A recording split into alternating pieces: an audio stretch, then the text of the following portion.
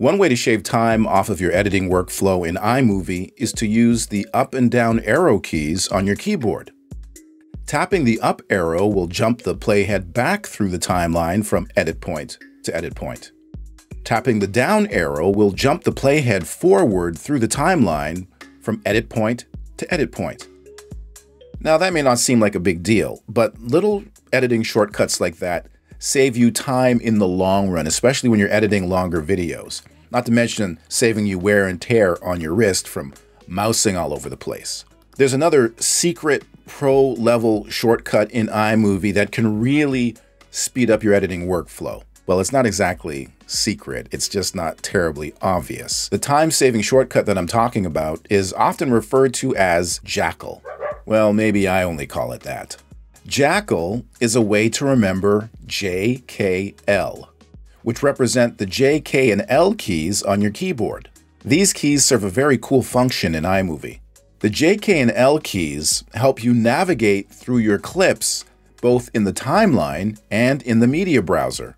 Now you may be thinking, I already navigate through my clips using the scrubber bar, Mike. Yes, you can, and it works great.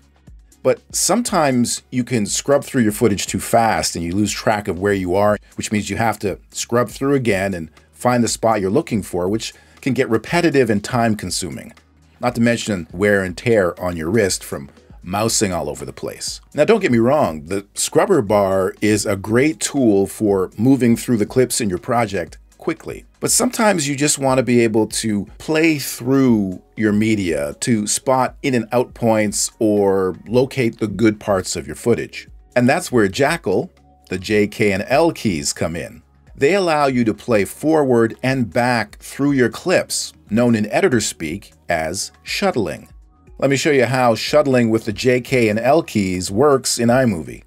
Here on the timeline in iMovie, tapping the L key plays the clip. Tap the L key again, and the clip plays faster. Tap it again, and it plays even faster, and so on, faster and faster, with each successive tap of the L key. Tap the K key to stop playback. Alright, going back the other way, tap the J key to start playing backwards through the clip. Tap the J key again, and the clip plays backwards faster. Tap it again and it plays backwards even faster and so on and so on with each successive tap of the J key. Again, tap the K key to stop playback. And that's JKL navigation in iMovie. Now, if you prefer to use the space bar to play and stop your clips, no problem. You can use the space bar with the J, K, and L keys if you want to. And this JKL shuttling function also works on clips in the media browser, which I find particularly handy. Navigating through the clips in your project using the J, K, and L keys is a pro-level technique that will help speed up your editing workflow, leaving you more time to be creative. And if you're looking for more ways to take your iMovie editing skills to the next level, have a look at this playlist on my channel.